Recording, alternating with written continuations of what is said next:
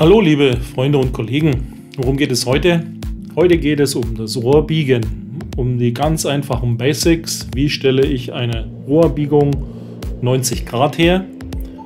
Erstmal, worauf muss ich bei der Biegemaschine oder beim Handbiegegerät achten? Und wo liegen natürlich die Vorteile?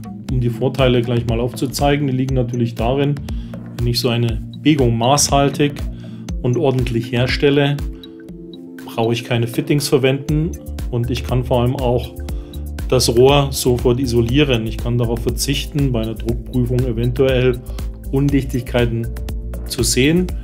Ich kann hier Isolierung drüber schieben und brauche nichts mehr optisch nachkontrollieren. Was habe ich euch vorbereitet? Ich habe euch vorbereitet hier zwei unterschiedliche Biegemaschinen bzw. Biegegeräte. Auf der linken Seite ein elektrisches Biegegerät und auf der rechten Seite ein manuelles Handbiegegerät. Dieses manuelle Handbiegegerät hat den Nachteil, das geht nur in diesem Fall für 15er Kupfer, Präzisionsstahlrohre, Edelstahlrohre, je nachdem was man hat, also mit dem Außendurchmesser von 15 mm. Dann habe ich mir ein paar Probestücke hergeschnitten. Das ist jetzt hier in dem Fall C-Stahl. Und um euch nur mal kurz zu demonstrieren, wie das geht, versuche jetzt mal hier dieses C-Stahlrohr zu biegen. Das ist natürlich hart, also wer schon mal C-Stahlrohr verwendet hat, dann tut man sich schon ziemlich hart, braucht man schon den einen oder anderen Bizeps. Der eine oder andere Tag im Fitnessstudio wäre auch nicht schlecht. Jetzt brauche ich erstmal ein bisschen mehr Platz, um das vernünftig machen zu können. Damit ich die eine Seite abstütze, um mal ein bisschen Bewegung in das Rohr reinzubringen. Wenn man sich mit diesen Geräten nicht auskennt, dann mache ich jetzt erstmal hier eine Probebiegung, um zu sehen, biegt das überhaupt gerade, faltenfrei, rutscht das Rohr nicht nach, kann ich hier einen ganz normalen 90 Grad Bogen herstellen. Ja, funktioniert ganz gut, ist jetzt noch nicht maßhaltig oder so, erstmal 90 Grad, 15er Rohr, easy peasy, funktioniert einwandfrei. So, und das Ganze ist natürlich dann wesentlich einfacher, vor allem auch noch dann bei größeren Dimensionen.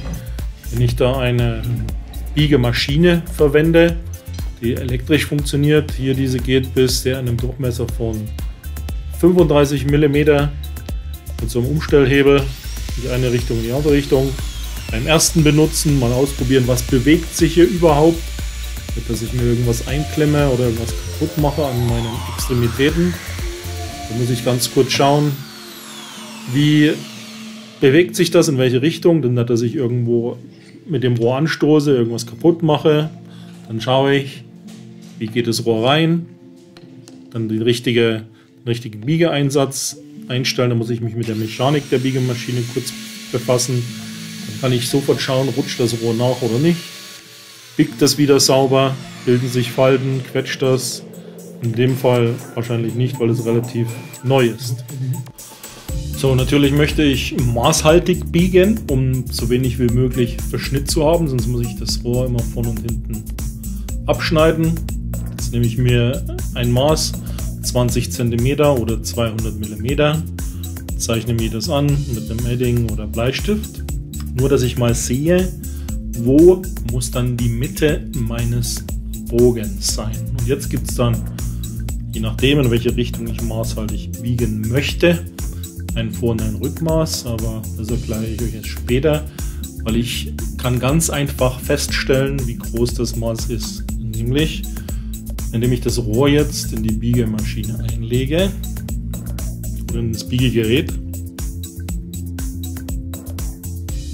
und dann einfach über den Biegeradius schaue und feststelle, wo geht dieser Biegeradius entlang.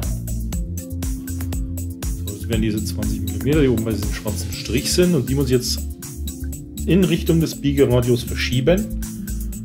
Und dann kann ich ungefähr abschätzen, wo das rauskommt, das Ganze, das Mittebogen. In dem Fall bei 20 cm oder 200 mm. Da seht ihr, jetzt halt den Meterstab hin. Ganz einfach. Das kann ich in der Praxis auch so machen, vollkommen wurscht. Aber wenn ich dieses Maß habe, das dürften jetzt in dem Fall ungefähr 60 mm oder 6 cm sein, das messen wir jetzt danach, kann ich das ja schon beim Maßantrag messen und anzeichnen. Da kann man durchschauen, ne? sieht man sehr schön, da kommt mit der Bogen raus, 90 Grad, messe ich nach, seht ihr da, 60 mm, komisch, ne? das wird keine Absicht, aber einfach nur so reingeschaut, reingeschoben, durchgeschaut und dann sehe ich dieses Rückmaß im Endeffekt. Und so lege ich das an. Das könnte ich mir jetzt hier nochmal anzeichnen, theoretisch. Schreibe nochmal hin, minus 60, für die, die es noch nicht ganz verstanden haben. Und dann kann ich das biegen. Auf der Biegemaschine steht es natürlich auch wohlweislich. Und dann geht's los. Dann kann ich das maßhaltig biegen, den, den Bogen. Jetzt gleich sehen. So, um ganz sicher zu gehen, kann ich äh, mir diese 60 mm nochmal am Rohr anzeichnen, damit ich sehe, ob das Rohr nicht verrutscht. Es gibt dann wieder Spezialisten, die nehmen dann Biegespray dazu her, was auch natürlich gut ist. Aber die sprühen dann die ganze Maschine ein und dann wird das natürlich kompliziert, das Ganze. Also das Rohr muss sich da oben in diesen Halter einklemmen und darf nicht verrutschen. Und ich darf eigentlich nur diesen Schlitten mit ganz wenig, ganz wenig Biegespray oder mit ganz wenig Minimalöl einsprühen, damit der schön über das Rohr gleitet. Also das darf dann nicht verrutschen an diesem Biegegerät. Ich muss unbedingt darauf achten, dass dieser Strich dann übereinstimmt mit dem, mit dem Strich, der da auf der Biegemaschine ist, wo ich praktisch ansetze zum Biegen.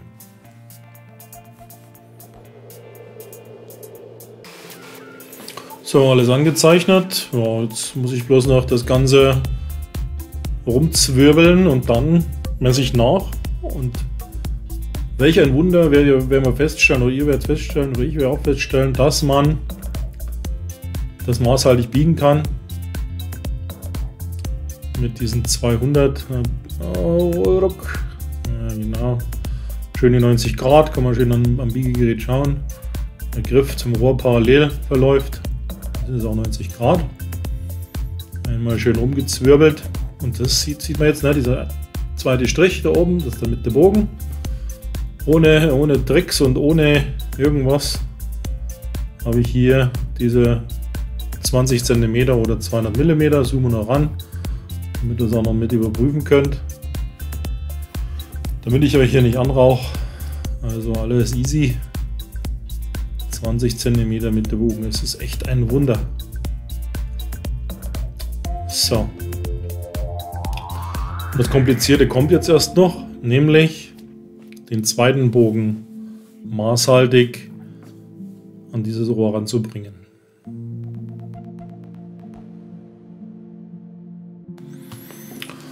So, und wie geht es jetzt weiter?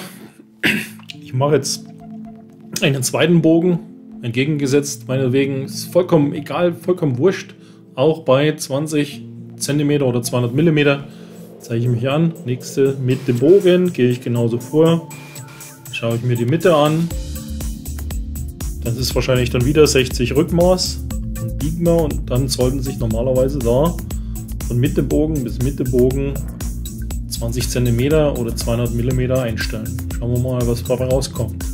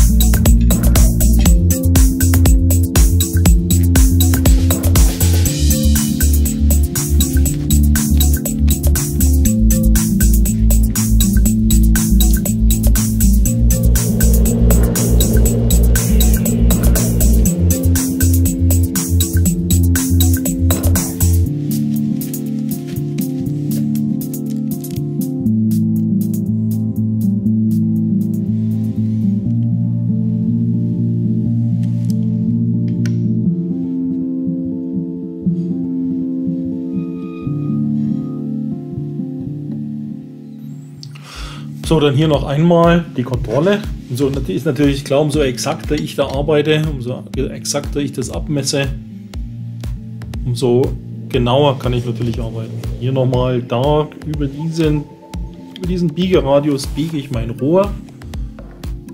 Da kommt dann mit dem Bogen 20 cm oder 200 mm raus. Muss ich natürlich ein bisschen ausrichten, damit es auch wieder 90 Grad werden. Und na gut, jetzt biegen wir einmal rum und dann messen wir nach.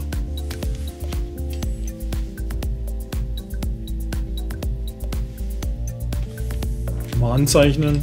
Das kann ich ja gleich machen. Ne? Ich brauche ja dieses, diese, diese 20 gar nicht anzeichnen. Das ist jetzt bloß die Basics. Ich sage, okay,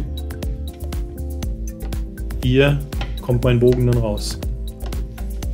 Und wenn ich diese 6 cm in dem Fall gleich wieder wegrechne, dann brauche ich das gar nicht anzeichnen, die 200.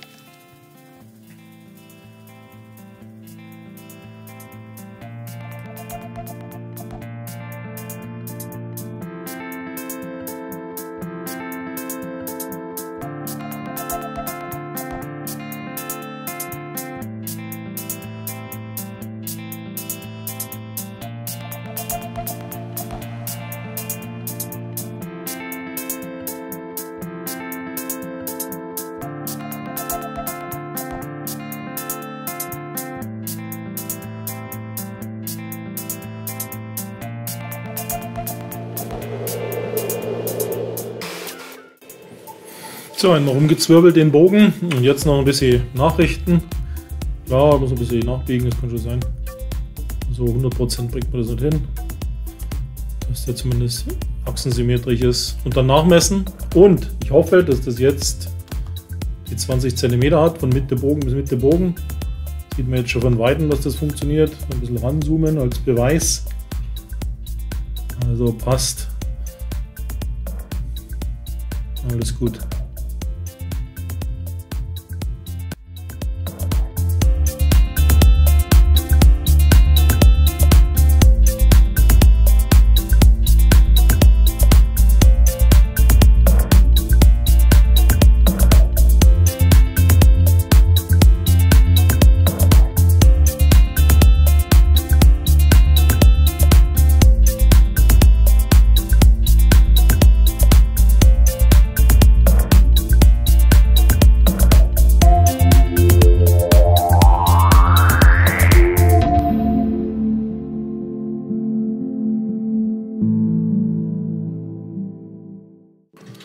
Wenn ihr das natürlich jetzt maßhaltig biegen wollt, ein, zwei Millimeter hin oder her, da muss man sich natürlich dann schon ein bisschen Mühe geben, das exakt ausmessen und vor allem zwei, dreimal üben. Dann funktioniert das auf jeden Fall. So, und dass das mit dieser Biegemaschine auch funktioniert, möchte ich euch jetzt zeigen. Ist natürlich wesentlich einfacher vom Kraftaufwand.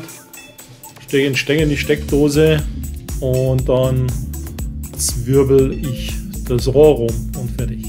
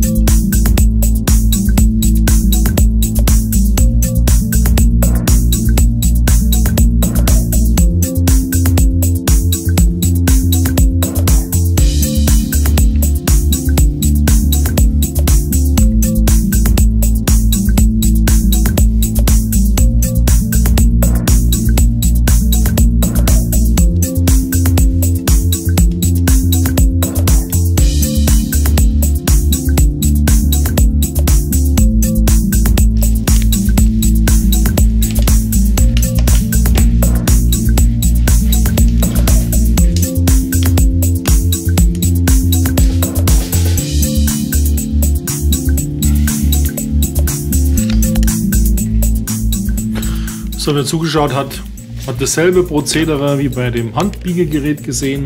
Erstmal reinschauen, durchschauen, wo sind die 200 mm äh, oder 20 cm. Hier ergibt sich ein anderer Biegeradius. Biegeradius sind hier 55 mm. Ist aber auch kein großes Problem. Zeige ich mir kurz an. Darf nicht verrutschen. Am besten vielleicht, vielleicht besser vorne an der Kralle. Die muss scharf sein. Wenn die nicht scharf ist, habe ich keine Chance. Das Rohr muss richtig fest in der Biegemaschine sitzen.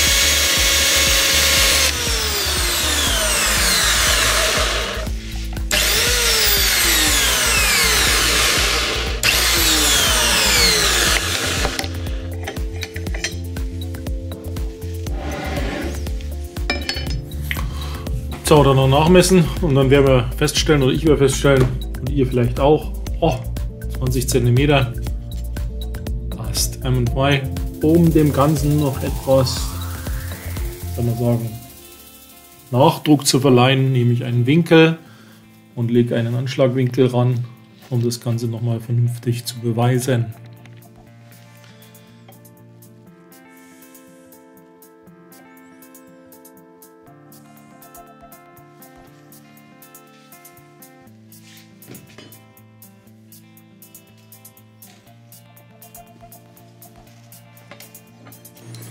So, und das Ganze wie bei dem Handbieger. Machen wir mal so einen S-Bogen. Auch wieder bei 200 mm, bevor ich euch dann noch ganz kurz was anderes zeigen möchte. Etwas exakter mit dem Winkel kann man das auch anzeichnen, ist aber ja, für unsere Zwecke jetzt vielleicht ein bisschen übertrieben. Aber einen Winkel ordentlich anzeichnen, einmal rumzwirbeln und dann passt das. Jetzt bin ich schon schlauer geworden, gleich auf der anderen Seite auch noch anzeichnen. Und dann läuft es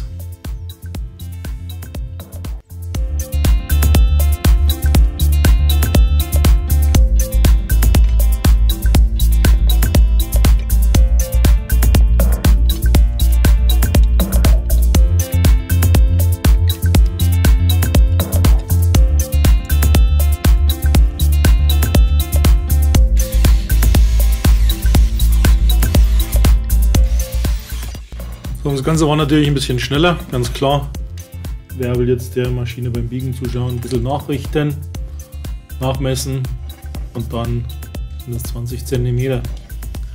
Also solche S-Bögen sind easy peasy zu biegen. Und wenn man sich wirklich nur durchschaut, wo kommt der Bogen raus, bis wir das Rück- und das Vormaß beachten und dann läuft es. Dann kann man relativ genau biegen. Also nicht lang nachdenken, sondern einfach bloß mit dem Bogen mit dem Bogen anzeichnen, durchschauen durch das Biegegerät, dann sieht man genau, da ist der Biegeradius, da kommt das Rohr raus, in der Mitte von dem Biegewerkzeug und dann hat man das alles ganz gut im Griff.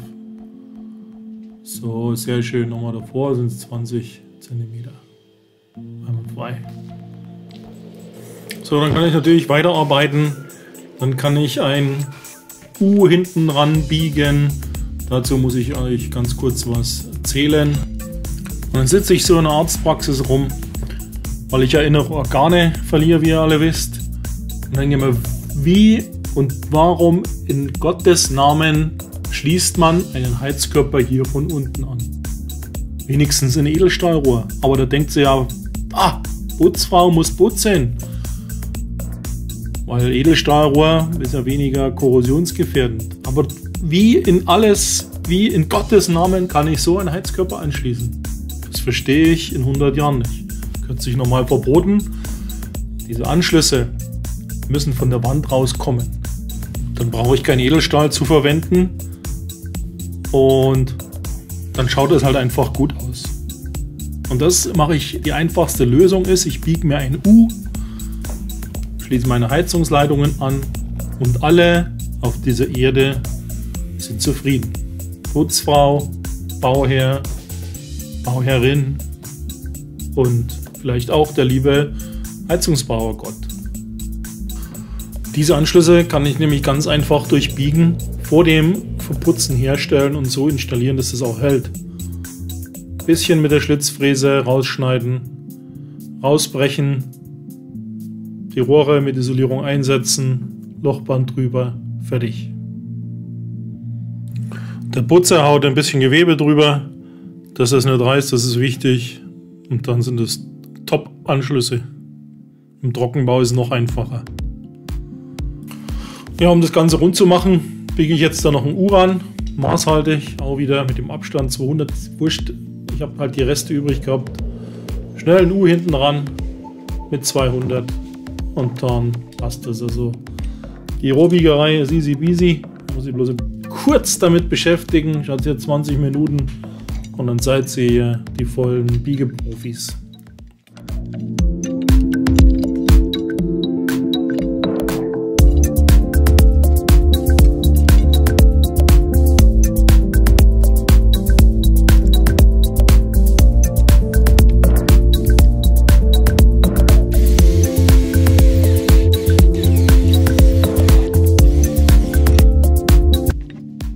So, dass ihr auch seht, das geht mit dem dicken Rohr genauso. Hier habe ich ein 28er Kupferrohr, ich schließe den Pufferspeicher an.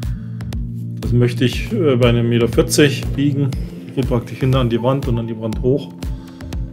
Zeichne ich mir genauso an. 28er Rohr, Meter 40 ist natürlich schon Abstand. Und da geht es um richtig Geld, kostet ein Meter 10 Euro oder so, wenn es reicht. Und da muss man schon ein bisschen aufpassen und das ordentlich machen, damit man da nichts wegschmeißen muss. Bei solchen Längen muss man natürlich aufpassen, dass nichts im Weg ist. Die Maschine ein bisschen Platz schaffen. Und das ist eigentlich relativ problemlos. Das Rohr einhängen. Dann mache ich noch den Gegenhalter dazu. Den richtigen. Und genau dasselbe Prinzip wie bei dem 15er Rohr da wo die Markierung ist. Theoretisch kann ich mir das dann über den Biegeradius dann von bei der 0 auch anzeichnen. Ne? Da ist extra an dem Biegeschenkel, an dem roten ist auch extra eine Skala an, wo ich das dann anhalten kann. Also dass das auch immer 100% wird. Alles easy. Das hier geht es nur um die Basics und wenn ich das einmal beherrsche, kann ich mir dann einen Weg suchen, wo das wirklich Millimeter genau wird. Und das wird Millimeter genau, wenn ich davon an diesem Gegenhalter, an diesem roten, diesen, diese Markierung benutze.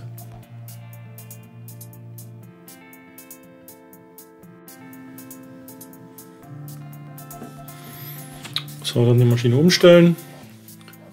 Dann den Bogen schön rumzwirbeln. Und für euch messe extra noch nach. Normalerweise messe ich das gar nicht mehr nach. Weil das auf jeden Fall passt.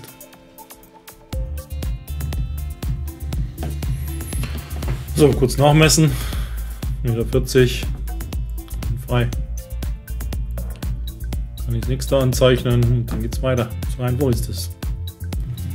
So, und jetzt noch eine kleine Zugabe für diejenigen, die Probleme haben mit dem Weichlöten.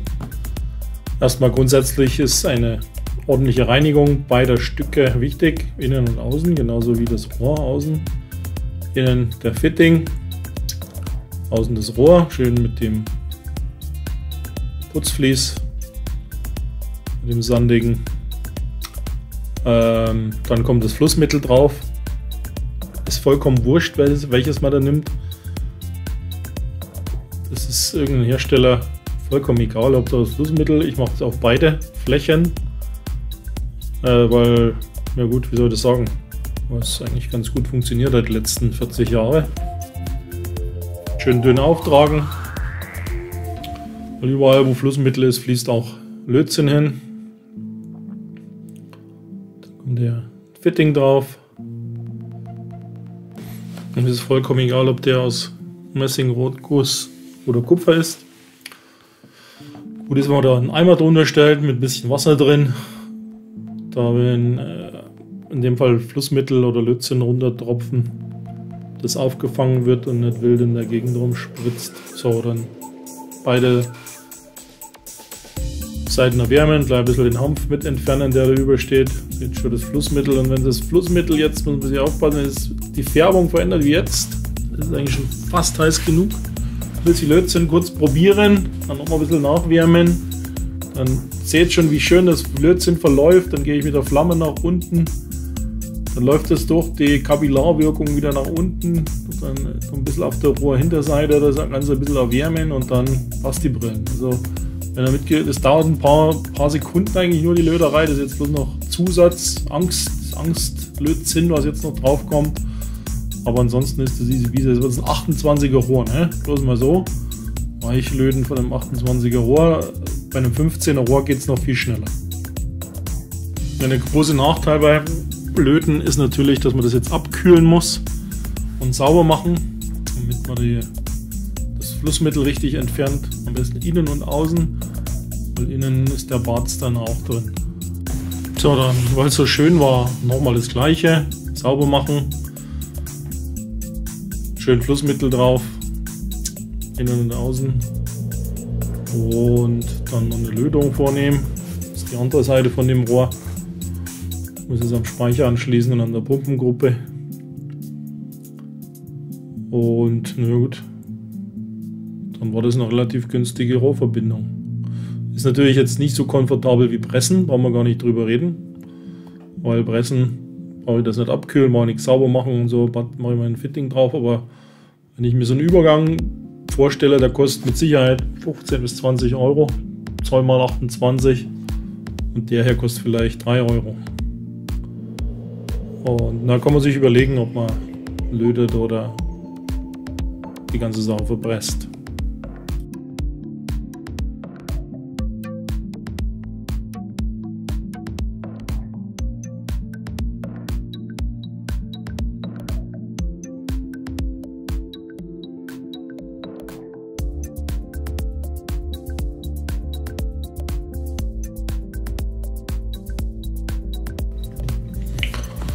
So, dann möchte ich euch noch zeigen, was für ein Barz drin ist. Also das ist schon, das Flussmittel, was verbrannt ist, ist schon ein bisschen lästig. Das muss man unbedingt sauber machen.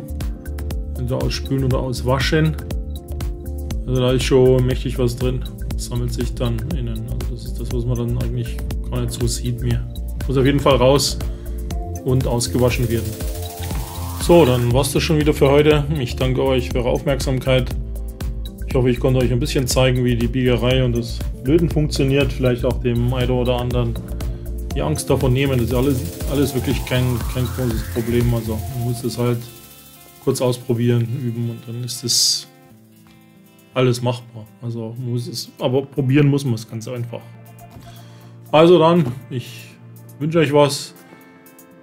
Servus und ciao.